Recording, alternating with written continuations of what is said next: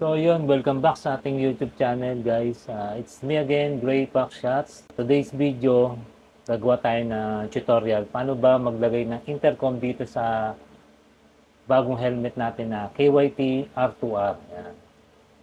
Malalaman natin yan guys kung talagang intercom ready na siya. So, tara, umpisa na natin guys. So, ito nga pala yung ating intercom na ilalagay. Uh, R1 Pro Predcon. So, na-vlog na natin to dati pa sa ibang mga helmet. So, ito yung lagi kong ginagamit guys. Ayan.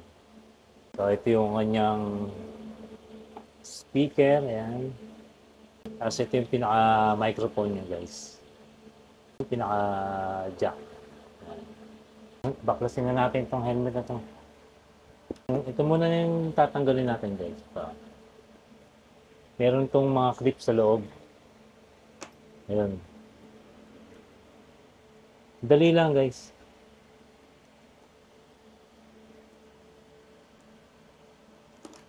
Ayan, hilahin nyo lang to. Ayan. Tanggal na guys.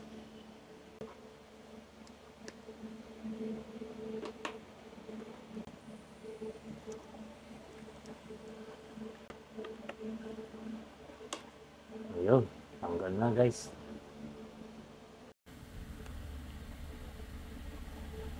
So, ayan yung loob guys. Ito yung tatanggalin natin. Yan.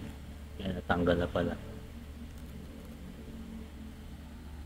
Ito, ayan. May tatak na KYP. So, tatanggalin lang natin to guys. Ayan. Lalagyan na lang natin yung uh, speaker dyan. Didikit na lang. Then, dito rin sa kabila. Ayan. Tanggalin natin. Ayan. Sumama na yung pinaka-velcro niya. So, ayan. Uh, meron na siyang lagay ng ano, ng speaker guys.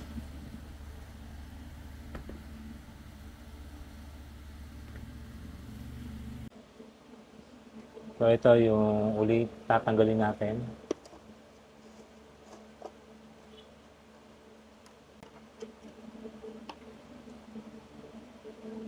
So dito natin palulusutin yung ano. Padadaanin pala yung pinaka-wire papunta rito sa dito sa intercom. Lalagyan natin intercom.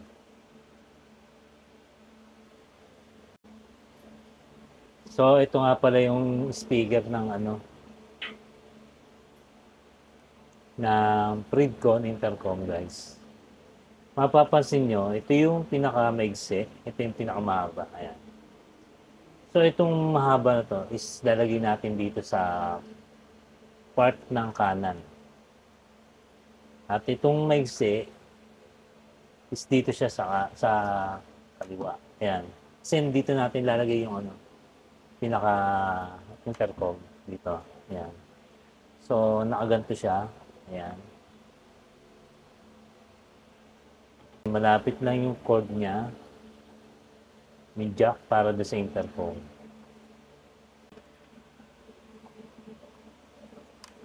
Medyo madilim eh.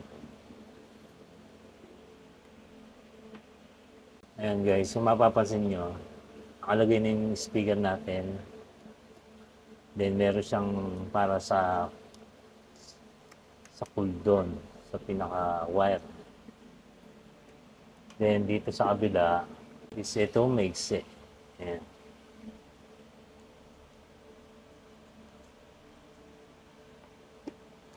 So yan, nakalagay na guys. Ayan, maliwanag na. So guys, ito yung pinaka maiksing doon na speaker. Dito natin nilagay sa sa kaliwa. Then dito naman yung sa yung mahabang doon, no, dito yan.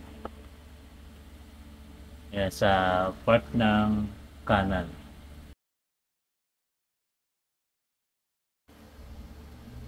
So ngayon guys, maglalagay tayo itong velcro dito. Para yung pagdidikitan ng mic. Yan. Para dito natin siya ilalagay.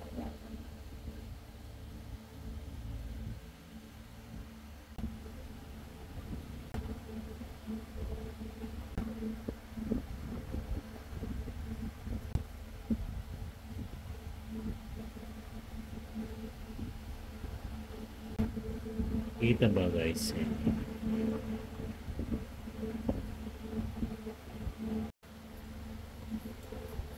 Guys, ito na tago na natin yung mga wire.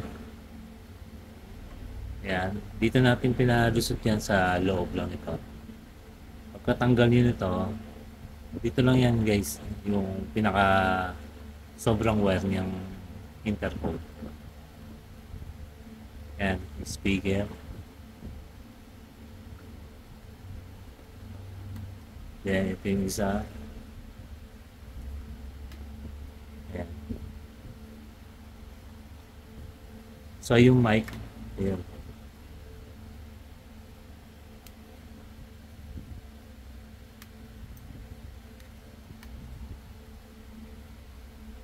Ayan, yun yung pinaka-mic. Pinadaan ko lang dito guys. Ayan.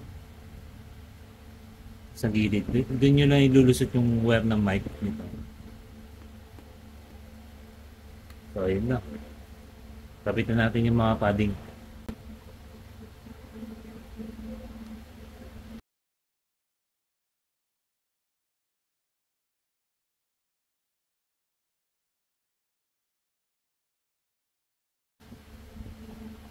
So, yun guys. Uh, naikabit na natin tong padding. Naibalik na natin.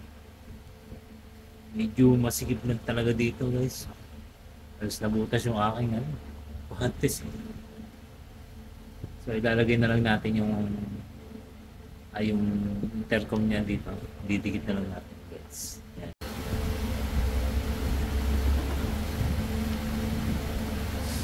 So ito yung gagamitin natin yung double adhesive.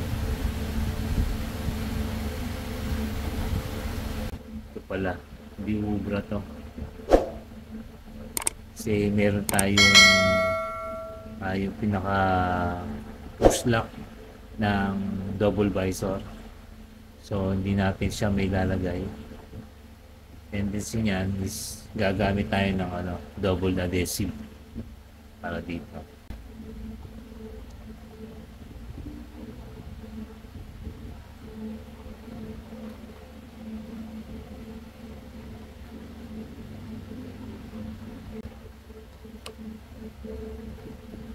Lalagyan natin siya ng tape.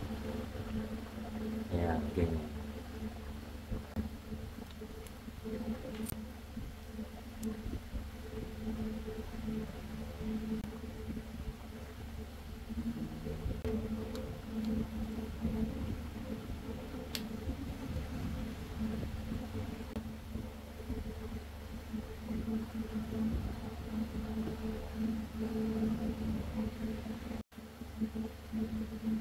Ayan guys, nakikabit na natin yung ano, intercom dito.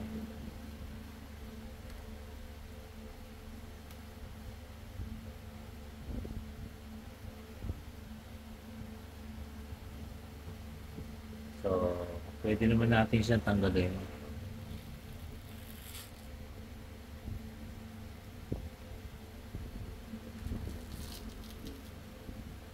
Tatanggal guys.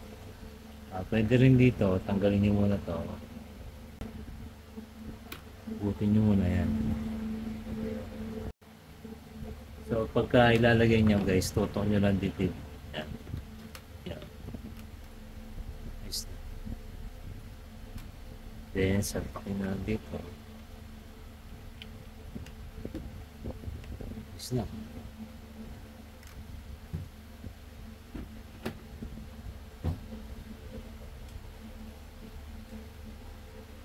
Intercom dito sa KYT R2R.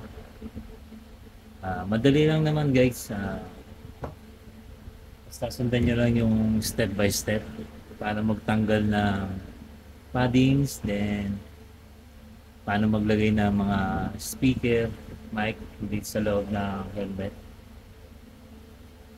Ayan guys, malinis naman yan.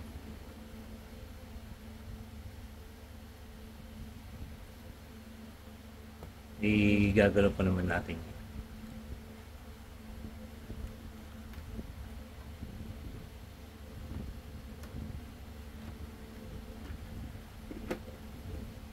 So yun lang guys. Ah, sana may natutunan kayo. Then, mag-subscribe na lang din po kayo kung hindi pa kayo nakasubscribe. At pa-pindot na lang po yung notification bell para updated kayo sa mga videos na gagawin natin guys. So, yun lang. Salamat. God bless.